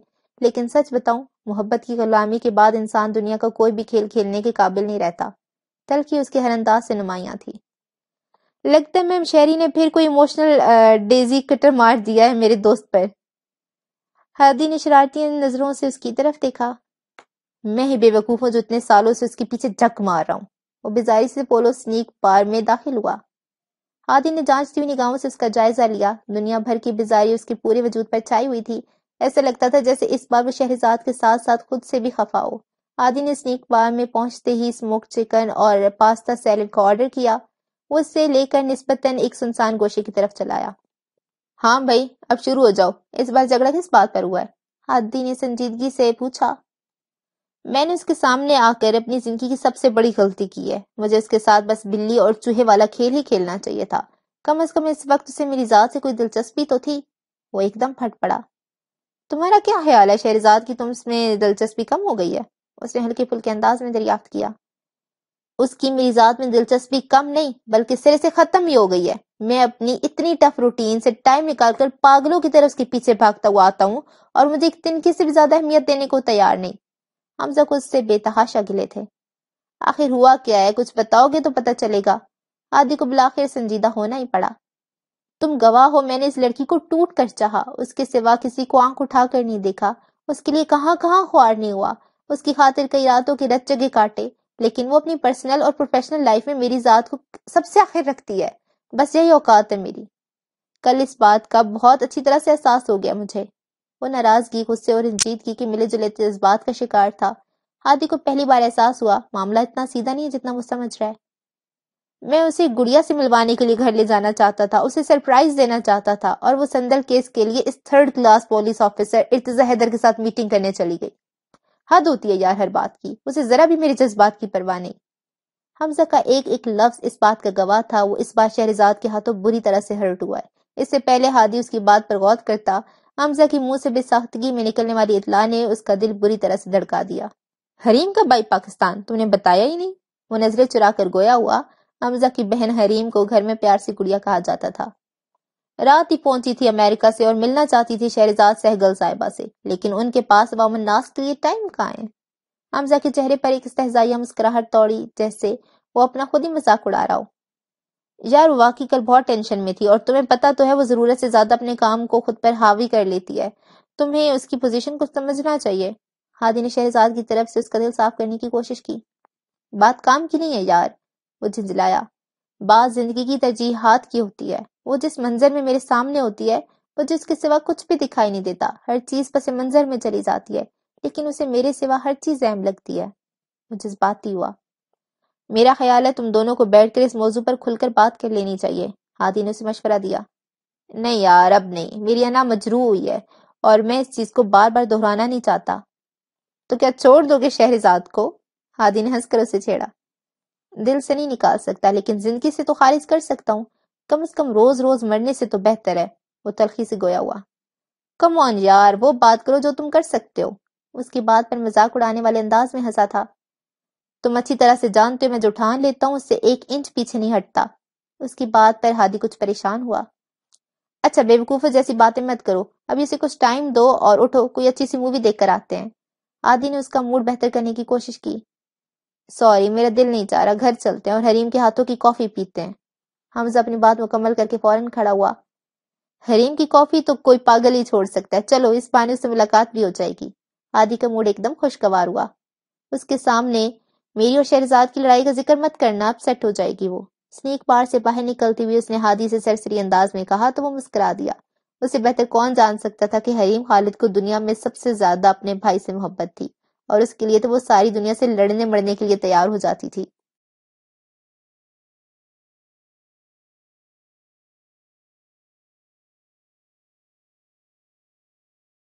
मैं हमजा की फैमिली को डिनर पर इनवाइट करना चाहती हूँ। टीना बेगम की सितला पर शहरजाद का रशियन सैलड की तरफ़ बढ़ता हुआ हाथ फिजा में ही मुअल्लक हुआ। उसने हैरानगी से उनकी तरफ़ देखा जो छुरी कांटे के साथ बड़ी मुहारत से फ़िश खा रही थी। इस वक्त डाइनिंग रूम में वो दोनों माँ बेटी ही मौजूद थी। हमजा की फैमिली को किस खुशी में इनवाइट करना चाह रही हैं आप? हल्की सी नागवारी उसके लहजे में दर आई वो जनरल खालिद का बेटा और तुम्हें पता है मैं हमेशा से हाई फाई फैमिलीज़ के साथ अपना सोशल सर्कल मेंटेन रखती हूँ। आई एम सॉरी मॉम फ़िलहाल वो अपना सोशल सर्कल थोड़ा महदूद ही रखें। दो चार दिन में रोमैसा का मामला निबट जाए, फिर देखेंगे। उसने टीना बेगम को साफ़ टाला रोमैसा का केस खत्म होने पर तो मैं एक ग्रैंड पार्टी का एहतमाम करूँगी। टीना बेगम की इस अगली इतला ने शहरजाद को मजीद कोफ में मुबतला किया। मॉम रूमी ने कोई गोल्ड मेडल नहीं लिया और ना ही वो अबरार से कोई डिग्री लेकर आई है, जिसकी सेलिब्रेशन आप इतने बड़े पैमाने पर करना चाहती हैं। उसने बुरा समूह बनाकर अपनी माँ को समझाने की कोशिश की। बट द शेरी प्रॉब्लम क्या है तुम्हारे साथ? वो चिढ़ गई। मॉम ट्राई टू अंडरस्टैंड लोग मज़ाक उड़ाएँगे। कि इसके मुतलिक अजीब गरीब सवाल करके रोमैसा को परेशान करने की कोशिश करेंगे। इसलिए इस हवाले से ऐसी कोई गैदरिंग करने की ज़रूरत नहीं शहरजाद ने अपने मखसूस तोटोक अंदाज में कहा। इससे पहले टीना बेगम इस बात का कोई और कड़वा जवाब देती। रमैसा बड़ा सा दुपट्टा फैलाए शलवार कमीज में डाइनिंग रूम में दाखिल हुई। टीना बेगम ने उसके इस हुलिये को नागवार नज़रों से देखा और बेजारी से पहलू बदला। रूमी, ये तुम क्या ऊँट पटांग हुलिया बनाए हुए घूमती हो? क्यों? क्या हुआ मेरे को? मोम की बात पर रमैसा हल्का सा गड़बड़ा कर जल्दी से डाइनिंग चेयर पर बैठ गई। उसके दिल में चोर था, इसलिए उसने लाशौरी तौर पर अपना दुपट्टा मजीद फैला लिया। शलवार कमीज और ये ढाई गज का दुपट्टा तो तुमने सारी ज़िंदगी में नहीं लिया। अब कौन सी बूढ़ों वाली रूबीदार हो गई है तुम में? टीना बेगम की तंजिया निगाहें रूमी पर जमी हुई थी, जो दिल ही दिल में काफ़ी खौफजदा हो चुकी थी। मोम, आपको क्या इशू है रुमैसा की ड्रेसिंग से? वो जो पहनना चाहती है उसे पहनने दें। शहरजाद की बात पर रुमैसा ने मशकूर निगाहों से अपनी बहन की तरफ़ देखा, जो अक्सर ही उसके आगे ढाल बनकर खड़ी हो जाती। शरी तुमने शायद गौर से उसे देखा नहीं है। देखो, कितना वेट गेन कर रही है। टीना बेगम की खोजती निगाहें और तंजी अंदाज पर रूमी झंझला कर बोली, मॉम, प्लीज़ खाना खाने दे मुझे। ये फजूल बहस किसी और दिन कर लीजिएगा। मुँह बनाकर प्लेट में खाना खाने लग गई। कम ऑन मॉम, सारे दिन तो घर पे होती है। ना कोई यूनिवर्सिटी, ना कोई और फ़िज़िकल एक्टिविटी ऐसी सिचुएशन में वेट तो गेन होगा। शहरजाद का अंदाज सरसरी था। मैं कल ही जिम में इसकी रजिस्ट्रेशन करवाती हूँ। इसे फ़ौरन ही वर्कआउट करना चाहिए। लड़कियाँ ऐसी बेढंगी बिल्कुल भी अच्छी नहीं लगती। उसने पह, उससे पहले टीना बेगम फिटनेस पर मजीद एक लेक्चर देती उनके सेलफोन पर आने वाली कॉल ने उन्हें अपनी तरफ़ मुतवजो किया। वो अपना फ़ोन उठाकर डाइनिंग रूम से निकल गई तो रमैसा ने खुलकर सांस लिया। उसी वक्त शहजाद की उस पर नज़र पड़ी वो हल्का सा चौंकी पे मुस्कुरा दी। वैसे मोम ठीक कह रही है रूमी तुम्हें पहली फुर्सत में कोई जिम ज्वाइन कर लेना चाहिए। क्या मुसीबत है शहरी? तुम भी उसी एक बात के पीछे पड़ गई हो। उसने झिझलाकर हाथ में पकड़ा कांटा, मेज पर पटका और नाराज़गी से खड़ी हुई। आई एम सो सॉरी यार। मैंने तो यूँ ही बात की थी एक। तुम खाना तो खाओ। शहरी को अफसोस हुआ। मुझे नहीं खाना। मूड नहीं अब मेरा। और मैं से जान कर खफा होकर डाइनिंग रूम से निकल गई। वो तो पहले ही बहाना ढूंढ रही थी। जो शहरी ने उसे फ्राम कर दिया था, इसलिए वो क्यों ना इससे फ़ायदा उठाती। रूमी, बात तो सुनो मेरी। यार, मैं मज़ाक कर रही थी। आई एम सॉरी शहरजाद ने परेशानी से उसे पुकारा, लेकिन रुमैसा को अपनी सरासीम की पर काबू पाने के लिए तनहाई दरकार थी।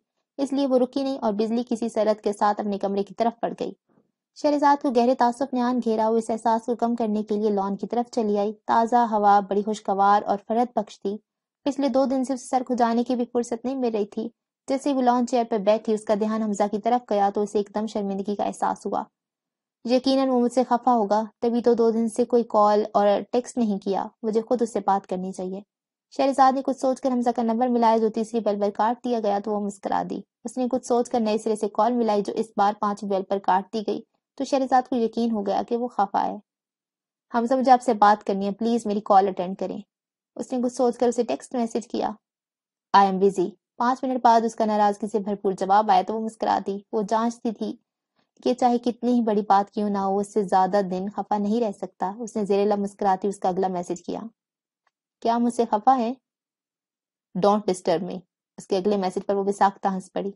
उसे मालूम था वो हमेशा बच्चों की तरह जितनी जल्दी नाराज़ होता है, उतनी जल्दी आसानी से मान भी जाता है। शहरजाद को अपनी ज्यादती का एहसास हुआ।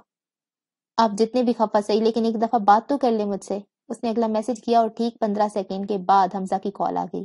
जो इसने बड़े खुशगवार मूड में अटेंड की, वो जानती थी चंद गिले शकवे करने के बाद वो सेट हो जाएगा। जी जनाब, कैसे आप हमजा खालिद साहब? तो मेरी खैरियत को छोड़ो। उसका सर लहजा शहरजाद की समातों से टकराया।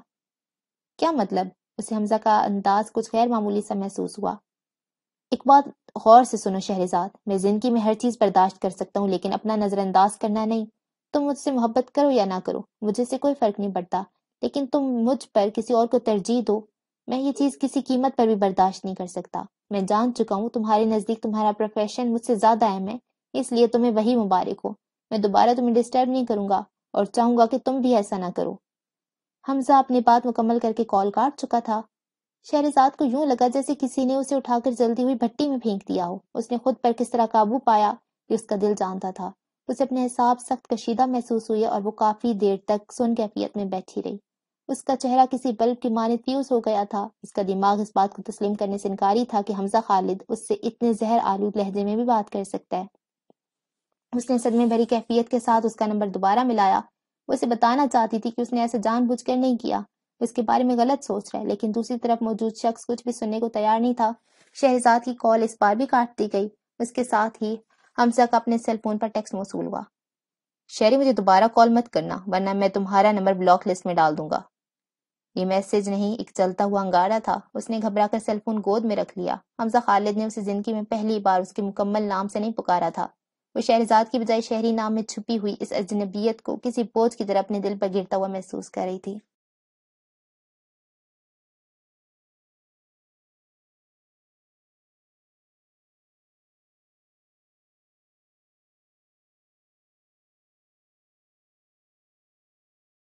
आसमान पर मौजूद सितारों की टमटमाती हुई रोशनी ने माहौल को खासा पर इसरार बना रखा था।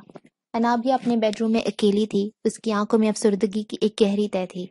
कातिब तकदीर ने जाने उसकी किस्मत में क्या लिख दिया था? एक तो उसकी शादी इतने अजीब माहौल में हुई और उसके बाद होने वाले यके बाद दीगरे वाकियात ने इस घर के सब मकीनों की जिंदगियों को हिला कर रख दिया था, जबकि अनाबिया के ऊपर तो दोहरी कयामत टूटी थी। एक तरफ़ बुरहान का सैद रवैया उसके अंदर आग लगाता और दूसरी तरफ़ घर में किसी को एहसास ही नहीं था कि इन दोनों की नई नई शादी हुई है और हर कोई दुरशवार वहाज के मसलों में उलझा हुआ था। वो उम्मीद भरी निगाहों से बुरहान की तरफ़ देखती, उनकी झिड़कियाँ सुनती और वक्ती तौर पर इनसे थोड़ा दूर हो जाती और फिर चंद ही घंटों बाद ढीठ बनकर वापस पलट आती, क्योंकि उसे बुरहान से मोहब्बत थी और इस मोहब्बत का खिराज शायद उसे सारी ज़िंदगी देना था। आखिर आप दोनों के दरमियान चल क्या रहा है? एक दिन तूबा ने अपनी बड़ी बहन को आड़े हाथों लिया। कुछ चलने की नौबत ही कहाँ है? मुझे तो लगता है बस इस घर में मेरा कमरा तब्दील हुआ है। अनाबिया ने सर्द आप भरकर कहा, शोहर है वो आपके, निकाह हुआ है उनके साथ। आपको अपने होने का एहसास दिलाना चाहिए बुरहान भाई को। इसी एहसास से तो चिढ़ते हैं वो। वो तलखी से गोया हुई। इतनी नफरत थी आपसे तो शादी क्यों की उन्होंने? तुबा को गुस्सा आया। बुरहान ने अपनी रजामंदी से शादी थोड़ी की है मुझसे। मुझे तो ज़बरदस्ती मुलसलत किया गया उन पर। अनाबियों को अब सिर्फ़ अपनी किस्मत से गिला था। पता नहीं किस दुनिया में रहती हैं आप। लड़कियाँ तो अच्छे खासे मर्दों को काबू कर लेती हैं। तूबा ने बेजारी से अपनी बहन का सादा चेहरा देखा। जो शख्स पहले ही से किसी की चाहत के हिसार में हो उस पर किसी और की मोहब्बत का जादू नहीं चलता। वो मुकम्मल तौर पर मायूस हो चुकी थी। तूबा ने नाराज़गी से उसकी तरफ़ देखा और वॉकआउट कर गई। मीर वहाज वाले किस्से के बाद तो मीर हाउस के सभी मुकीन मसरूफ थे। हर वक्त घर में मेहमानों की आमदोरफ्त जारी थी। मीर हाकिम ने खाकान अली को मुल्तान इलेक्शन कैंपेन के लिए भिजवा दिया था, जहाँ वो सियासी जलसों में अपने भतीजे की बेगुनाही और मुखालफी के झूठे मुजालिम की कहानियाँ बड़े जोश खरोश के साथ सुना रहे थे। ये अलग बात थी कि लोग इस पर यकीन जरा कम ही कर रहे थे। क्योंकि उन्होंने पिछले पाँच सालों में अपने हलके में कोई काम नहीं करवाया था। हाकिम अली और मोहतशम अली ने इस्लामाबाद की सरगर्मियों को संभाल रखा था। उसके साथ साथ दुरशहवार की भी तलाश जारी थी। वॉल क्लॉक पर इस वक्त रात के अढ़ाई बज रहे थे। अनाबियों को अपने बेडरूम में घुटन का एहसास हुआ तो वो दरवाज़ा खोल के बाहर निकल आई। पूरा घर सन्नाटे में डूबा हुआ था। वो कुछ देर तो यूँ ही दाएँ बाएँ टहलती रही और फिर कुछ सोच कर पिछले सहन की तरफ़ निकल आई। आसमान पर चंद टमटमाते हुए सितारे थे और बाहर भी हुका आलम था। दरख्तों के पत्ते साकत थे, जैसे किसी ने हवा का गला ढूंढ दिया हो। हर तरफ़ हब्स और घुटन का एहसास था। वो बरामदे में रखी हुई लकड़ी के झूले पर बैठ गई, जो इस घर की लड़कियों की पसंदीदा तरीन जगह थी, और इस पर बैठने के लिए बकायदा झगड़ा हुआ करता था। हालाँकि झूला इतना बड़ा था कि इस पर एक वक्त में तीन लोग आसानी से बैठ सकते थे। अनाबिया ने झूले के साथ टेक लगा ली और पाँव की नोक से उसे हल्का हल्का झुलाने लगी। उसका जहन बुरी तरह से बुरहान के रवैये में उलझा हुआ था, जो उसे बिल्कुल भी लिफ्ट नहीं करवा रहे थे, और उनके बेडरूम में तो आ चुकी थी, लेकिन दिल में अपनी जगह बनाने में अभी नाकाम थी। वो दोनों एक कमरे में रहते हुए भी एक दूसरे से सदियों के फासले पर थे, बल्कि बुरहान ने तो अपना बेड भी उसके साथ शेयर करने से साफ़ इनकार कर दिया था, और उसका ठिकाना बेडरूम में रखा हुआ काउच था। क्या हम दोनों की सारी ज़िंदगी यूँ ही अजनबी बन के गुजरेगी? वो लकड़ी के झूले में बैठी हुई मुस्तकबिल की सोचों में गलता थी। उसे वहाँ बैठे बमुश्किल दस मिनट गुजरे थे, जब पिछली गैलरी की तरफ़ से उसे हल्की सी सरसराहट का एहसास हुआ। उसने चौंक कर अपनी दाई तरफ़ देखा। पड़ोस में मौजूद हाथी का घर भी मुकम्मल अंधेरे में डूबा हुआ था। वैसे भी रात के इस पहर कौन भला मानस बंदा जाग सकता था? रात के सन्नाटे में अचानक उल्लू की तेज आवाज़ गुंजी और अनाबिया का दिल उछल कर हलक में आ गया। उसने घबरा कर देखा, एक खौफनाक आँखों वाला उल्लू पर फड़ाता हुआ हादी की घर की तरफ़ से उनके बरामदे की तरफ़ आ रहा था। उल्लू की आँखों में मौजूद ड्राउनी सी चमक देखकर अनाबिया के मुँह से बेख्तियार चीख निकली और वो नंगे पाओ अंदर की तरफ़ भागी और सामने कॉरिडोर से आते हुए बुरहान से बुरी तरह टकराई। उसके जिसम पर लर्ज तारी था। दिमाग ठीक है तुम्हारा? आधी रात को यहाँ क्या कर रही हो? बुरहान ने हल्का सा झिंझला कर उसे खुद से अलग करने की कोशिश की, लेकिन वो इस कदर सहमी हुई थी कि किसी भी कीमत पर उनसे अलग होने को तैयार नहीं थी। वो इनके साथ चिपक कर ऊँची आवाज़ में रोने लगी। बुरहान जो अभी अभी इस्लामाबाद से वापस आए थे और बेडरूम में से पाकर उसकी तलाशी में बाहर निकले थे, उसे यूँ रोता देखकर चिंचला गए। बेवकूफ़ लड़की कुछ नहीं हुआ। चलो अंदर। उसके रोने पर बुरहान का दिल थोड़ा नरम हुआ। बाहर खौफनाक आँखों वाला उल्लू है, वो मुझ पर हमला करने लगा था। अनाबिया की हलक से फंसी हुई आवाज़ निकली। तुम्हें किसने कहा था आधी रात को बाहर निकलो? उसे अपने साथ लगाए कमरे में ले आए। अनाबिया ने उनका बाजू मजबूती से पकड़ रखा था। उल्लू की तेज चमकदार आँखें याद करके उसे बार बार झुझरी सी महसूस हो रही थी। अपने बेडरूम में दाखिल होकर उसने सबसे पहले दरवाज़ा मजबूती से बंद किया, उसका जिसम अभी भी काँप रहा था। बुरहान ने तासुब भरी निगाहों से उसकी तरफ़ देखा और बाजू से पकड़कर उसे बेड पर बिठा दिया। वो अब साइड मेज पर रखी हुई जग से पानी का गिलास भर रहे थे। उन्होंने जैसे ही गिलास उसकी तरफ़ बढ़ाया, वो एक सांस में पी गई। उसका पूरा चेहरा पसीने से भीगा हुआ और आँखों से खौफ छलक रहा था। वो बार बार बाजू की पुश्त से अपनी आँखें साफ़ कर रही थी।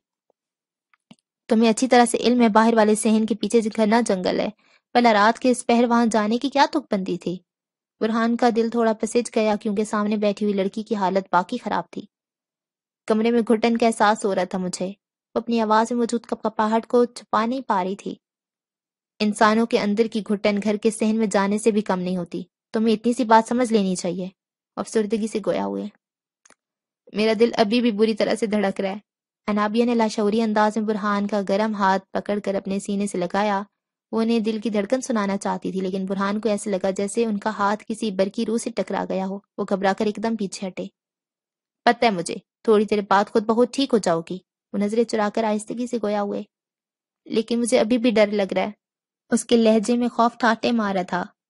कुछ नहीं होता, मैं तुम्हारे साथ हूँ, बस खामोशी से आँखें बंद करके यहीं सो जाओ। वो जो पिछली कई रातों से उनके मुतनफर की आदि हो चुकी थी, इस उल्तफात पर दिल तो और ही ले में धड़कने लगा। वो अपने तकिए ठीक करके रख रहे थे। वो भी हल्का से झिझक कर उनके बराबर में लेट गई। कमरे में ज़ीरो वॉट का बल्ब रोशन था और दोनों के दरमियान मैनी खेज खामोशी के लम्हे ठहर गए। बुरहान भी शायद उससे दूर भाग भाग कर थक गए थे। अब डर तो नहीं लग रहा तुम्हें? उनका लहजा सादा था। नहीं वाइस्तगी से गोया हुई। क्यों? बुरहान ने अनजान बनकर पूछा, ज़िंदगी में पहली बार उससे बात करना उन्हें बुरा नहीं लग रहा था? अब आप जो मेरे पास हैं। उसके लहजे में कुछ था, बुरहान पर ढेरों खफत का हमला हुआ, उन्हें पूरी शिद्दत से अपनी कोताही का एहसास हुआ। आई एम सॉरी बुरहान की बड़बड़ाहट पर उसके कान खड़े हुए। किस बात पर? अब अनजान बनने की बारी अनाबिया की थी। मैं तुम्हें वो सब कुछ नहीं दे सका जो तुम्हारा हक था। उन पर आज सच बोलने का दौरा पड़ा हुआ था।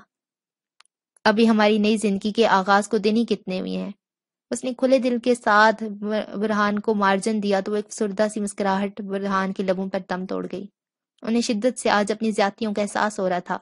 उन्होंने आहिस्तगी से अपना बाजू अनाबिया के हाथ पर रखा। वो इनके लम्स में मौजूद नरमी को महसूस करके मुस्कराई। उसे यकीन हो गया था कि बहार को अब उसकी ज़िंदगी में आने से कोई नहीं रोक सकता।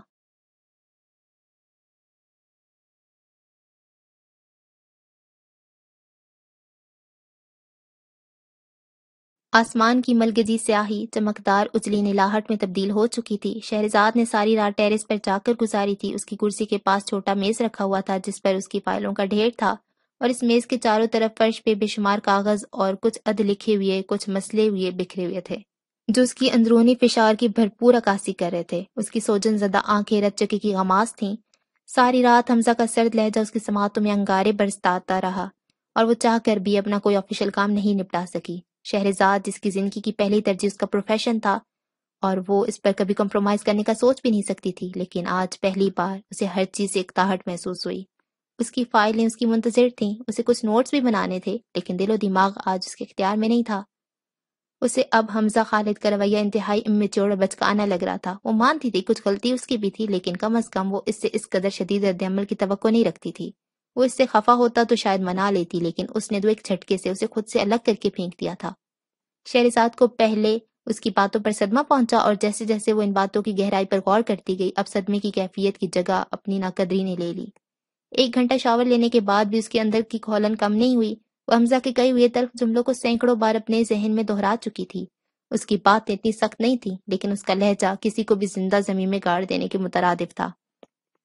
उसे पहली बार एहसास हुआ लफ्ज इंसान का कुछ नहीं बिगाड़ सकते। अगर लहजा, जहर, आलूद ना हो तो इंसान कड़वा घूंट भी किसी न किसी तरह पी लेता है।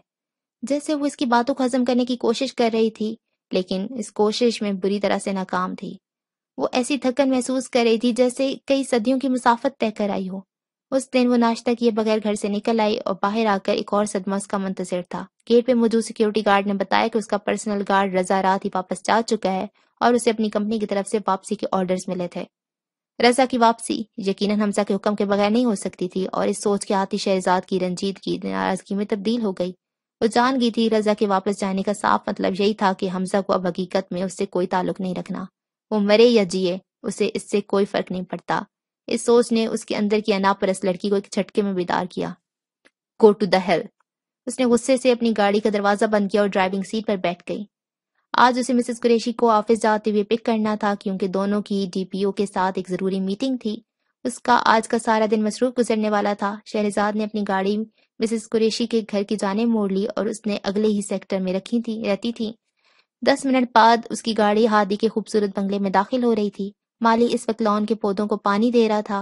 वो जैसे ही अपनी गाड़ी से बाहर निकली, घर के अंदरूनी दरवाजे से हादी उजलत भरे अंदाज में अपना लैपटॉप का बैग उठाए निकल रहा था। उसे आज मरी के लिए देर हो गई थी। उसे देखकर वो हल्का सा ठटका और उसकी रत जगह की आकाशी करती आँखों को बगौर देखते हुए उसने सलाम किया। कैसे हाथ दिया आप? उसने पीके से अंदाज में मुस्कराई। मैं तो ठीक हूँ, लेकिन शायद आप ठीक नहीं हैं। उसके लहजे में फिक्रमंदी छलकी। क्यों? क्या हुआ? शहरजाद ने हैरानगी से उसकी तरफ़ देखा। डार्क ब्राउन कलर की पेंट के साथ पॉन कलर की शर्ट में खासा स्मार्ट लग रहा था। आई थिंक सारी रात काम करती रही आप, तभी आँखें इतनी ज़्यादा सुर्ख हो रही हैं। हादी की बात पे हल्का सा गड़बड़ाई। अंदाजे अच्छे लगा लेते हैं आप। बस कुछ ऐसा ही सिलसिला रहा रात भर। वो ज़बरदस्ती मुस्कुरा कर मजीद गोया हुई। आप शायद मरी के लिए निकल रहे हैं। थैंक गॉड आपने याद दिला दिया। मैं ऑलरेडी लेट हो चुका हूँ। इनशाला नेक्स्ट वीकेंड पर मुलाकात होती है। वो तो तोजी से पोर्च में खड़ी अपनी गाड़ी की तरफ़ पड़ा और चल चल चलते रुका और फिर मुड़कर उसे मुखातिब किया। एक बात कहूँ शहरजाद? उसके अंदाज में कुछ था। शहरी के दिल की धड़कन बेरब्त हुई। वो जान गई थी कि वो इस वक्त हमजा के अलावा कोई और बात नहीं करेगा। वो दोनों बेस्ट फ्रेंड्स थे और ये मुमकिन ही नहीं था कि वो उसके और हमजा के बीच नाराज़गी के बारे में ना जानता हो। मर्द की अना पर जब चोट पड़ती है तो वो सारी मोहब्बत लपेट कर एक साइड पर रख देता है। कोशिश कीजिएगा अपनी ज़िंदगी में ऐसा कोई मौका ना आने दें। आदि कुछ न कहती हुए भी बहुत कुछ कह गया। शहरजाद ने चौंक कर उसकी तरफ़ देखा और इस्तेजाई अंदाज में मुस्कुराई। जब औरत के अना पर चोट पड़ती है तो वो इंतहाई मोहब्बत के साथ सर पर बिठाए हुए मर्द को भी बुरी तरह ज़मीन पे ला पटकती है और फिर सारी ज़िंदगी उसकी तरफ़ मुड़कर नहीं देखती। अपनी बात मुकम्मल करके रुकी नहीं और तेज तेज कदम उठाती हुई अंदर की तरफ़ बढ़ गई। लो जी, हमजा खालिद सारी ज़िंदगी की खुआरी आपकी किस्मत में लिखी जा चुकी है। वो दिल ही दिल में सोचता हुआ अपनी गाड़ी में आ बैठा।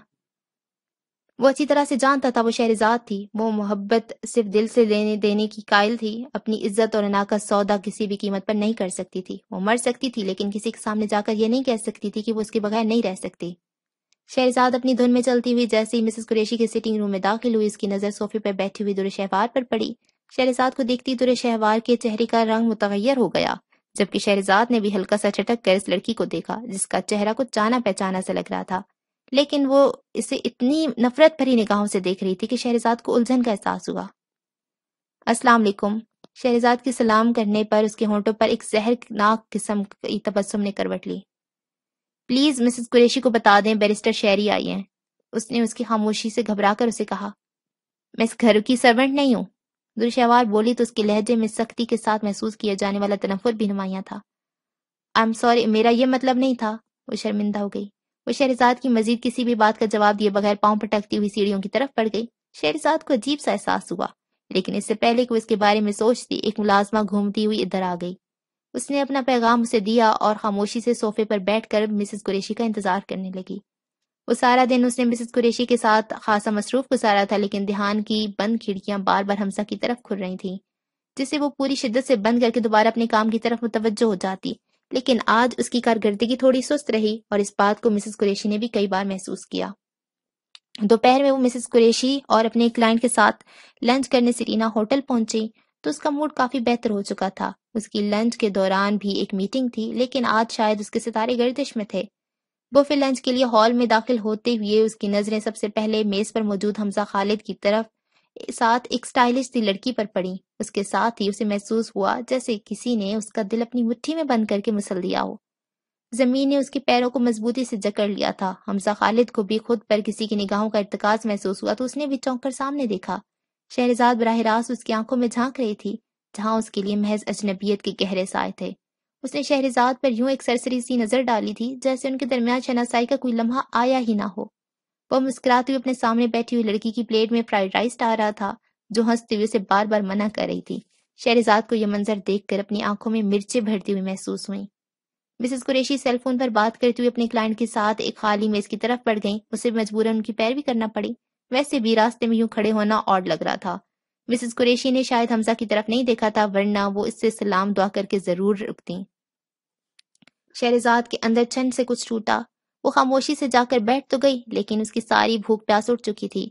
उसने एक रात में इस शख्स को गिरगिट की तरह बदलते हुए देखा था, और इस चीज़ को कबूल करने के लिए उसे कम अज कम कई साल दरकार थे। उसने गले में लगने वाले फंदे को खत्म करने के लिए यख, ठंडे पानी के गिलास को मुँह लगा लिया, लेकिन अंदर जलता हुआ लाओ एक गिलास के पानी से कहाँ खत्म हो सकता था?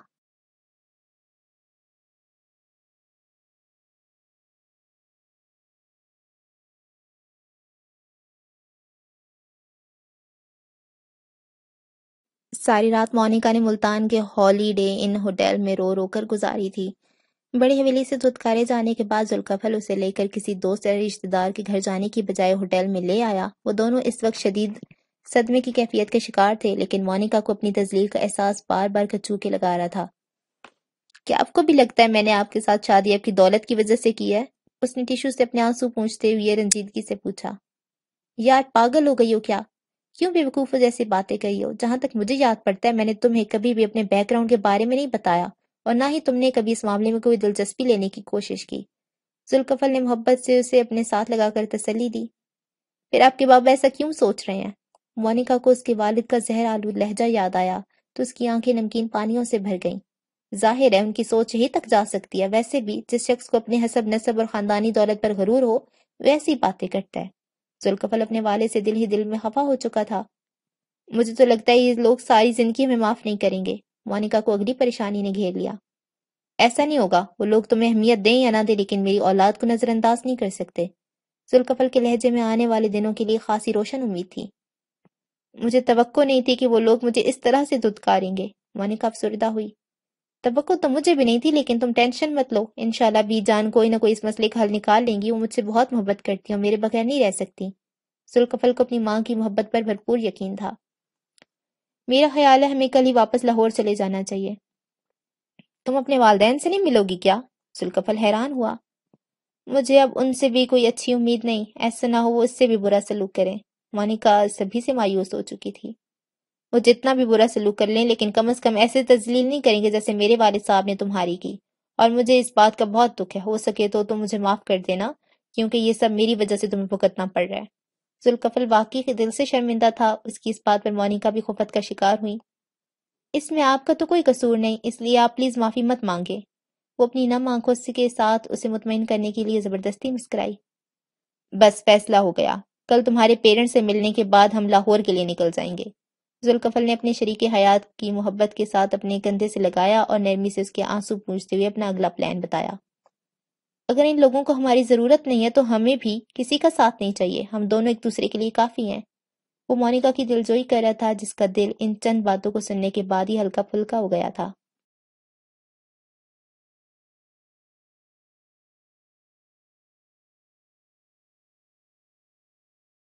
शाम ही से लोधरा शहर की फिजा गर्द गुबार से अटी हुई थी। एक तो बेतहाशा गर्मी और ऊपर से माहौल में सांस बंद कर देने वाली हबसतारी थी। वह आज फ्लैट से अपनी ज़रूरी चीज़ें समेट रहे थे। उन्हें आज अपनी गाड़ी से कराची के लिए निकलना था, जहाँ उनका दोस्त खाबर, उनका मुंतजर था। असद चीमा सोफे पर बैठा हुआ बार बार बेचैनी से पहलू बदल रहा था और उसकी नज़रें बार बार भटक कर वॉल क्लॉक की तरफ़ जा रही थी। बाज ने उसकी बेचैनी को महसूस किया और दिल जलाने वाली मुस्कुराहट उसके लबों पर आ गई। क्यों टेंशन ले रहे हो? आज जान छोड़ रहा हूँ मैं तुम्हारी। वह आज की बात पर असद किसी आस से गया। अरे नहीं नहीं, तुम गलत समझ रहे हो। मुझे असल में शिजा से मिलने जाना था। असद ने घबरा कर अपनी गर्लफ्रेंड का नाम लिया, जिसके साथ आजकल उसकी खूब दोस्ती थी, और वह आज भी उससे मिल चुका था। तुम कहते हो तो मान लेता हूँ। वह आज उसकी बात का यकीन नहीं आया। उसने बैग में अपने कपड़े रखकर जिप बंद की। उसकी ये सारी शॉपिंग असद ने की थी क्योंकि वो इस जनवरी से खाली हाथ ही निकला था और उसे अपने कपड़े वगैरह भी उठाने का मौका नहीं मिला था। वहाज तुम मुझसे खफा होकर तो नहीं जा रहे? असद ने फ्लैट के दरवाजे की तरफ़ बढ़ते हुए हल्का सा झिझक कर पूछा तो वो मुस्कुरा दिया। अरे नहीं, मैं तुम्हारी मजबूरी समझता हूँ। असल में इकतदार चीज़ ही ऐसी है कि जिसके लिए इंसान अपनी सगी औलाद तक का खून बहा देता है। और इलेक्शन के दिन है, मैं नहीं चाहता तुम लोग भी इस सिचुएशन से गुजरो जिससे मेरा खानदान गुजर रहा है। वहाज की बात पर असद को कुछ शर्मिंदगी हुई। जैसी हालात ठीक होंगे, मैं तुम बुलवा लूँगा। असद ने यूँ ही उसे दिलासा देने को कहा, लेकिन वह आज इस सिचुएशन में जान चुका था कि बुरे वक्त और मुसीबत में कोई किसी का दोस्त नहीं होता। अपने अपने हिस्से का जहन्नुम इंसान को खुद ही भुगतना पड़ता है। वहाँ जब असद के फ्लैट से निकला, उस वक्त रात के दस बज रहे थे और पूरा शहर एक सुर्ख आंधी की लपेट में था। वो गर्द और मट्टी के इस तूफ़ान में वो मुश्किल गाड़ी चला तो वो हाईवे की तरफ़ जा रहा था। एक सुनसान सड़क पर अचानक उसकी गाड़ी का टायर बर्स्ट हुआ। वहाँ जिस अचानक हमले से संभल नहीं सका। उसकी गाड़ी गैर मुतवाजन हुई और उसने पूरी कुत से ब्रेक लगाई और इर्द गिर्द के फिजा, टायरों के चिरचिराने की आवाज़ से गूंज उठी। इससे पहले वो संभल कर सूरत हाल का जायजा लेता। तीन चार लंबे तड़ंगे मर्द रात के स्या अंधेरे में उसकी गाड़ी की तरफ़ पड़े। गुस्से से उसकी गाड़ी का दरवाज़ा खोला और सबके आगे मौजूद शख्स ने वहाज को संभलने का मौका दिए बगैर हाथ में पकड़ी क्लाशनकोफ का पूरा बर्स उसके सीने में खाली कर दिया। फिजा गोलियों की तड़तड़ाहट फैल गई और दूर कहीं अजल ने भी मीर वहाज अली के मुर्दा वजूद को इस्तेजाइया नज़रों से देखा। अच्छा जी जनाब तो उन्नीसवीं किस्त भी ख़त्म हो गई है, बस अब पाँच किस्तें रह गई हैं और वो छोटी ही होंगी और मैं कोशिश करूँगी कि मैं एक दो दिन में उनको निपटा दूँ। मेरे चीक शदीद दर्द कर रहे हैं। अच्छा खैर, आप लोगों ने क्या करना है? आपने कुछ भी नहीं करना, आपने अपने दोस्तों के साथ इस चैनल को शेयर करना है और कहना है कि यार, ये चैनल आप सब्सक्राइब करें, ये लड़की है और बहुत